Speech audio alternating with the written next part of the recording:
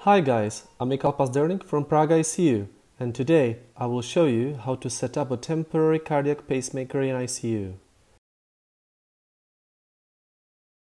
First of all, check the underlying rhythm.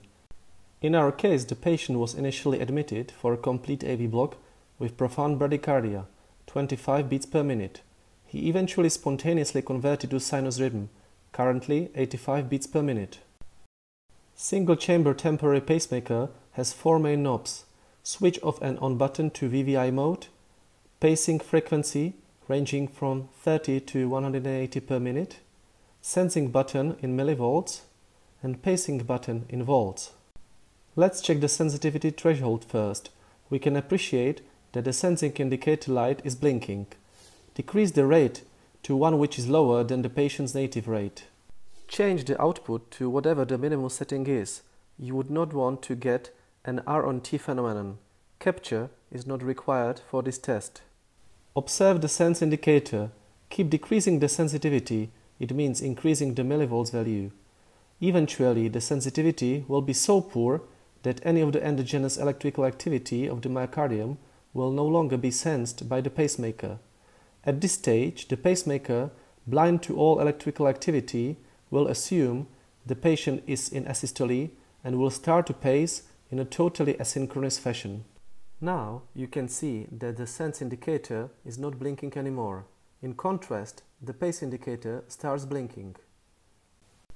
This minimal sensitivity value is the sensitivity threshold. In our case, it is 10 millivolts.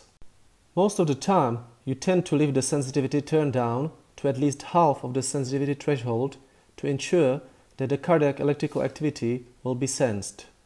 If you turn the sensitivity value down any more than that, you risk oversensing. We usually keep the sensing in the ventricles at 2 millivolts. Now we proceed to capture threshold testing. Capture threshold is the minimum current setting required to produce a depolarization of the pace chamber. Set the pacemaker well above the native rate, so that the ventricle is being paced continuously, in our case 100 beats per minute. Start increasing the output until you observe paced QRS complexes on the screen. See the arrow pointing at paced QRS complexes. The minimum output at which there is still consistent capture is the capture threshold. In our case, it is 2 volts. Typically, one might want to set the output to at least double the capture threshold. In our patient, we leave the pacing just in a back mode 50 beats per minute, with the output three times higher than the capture threshold, 6 volts.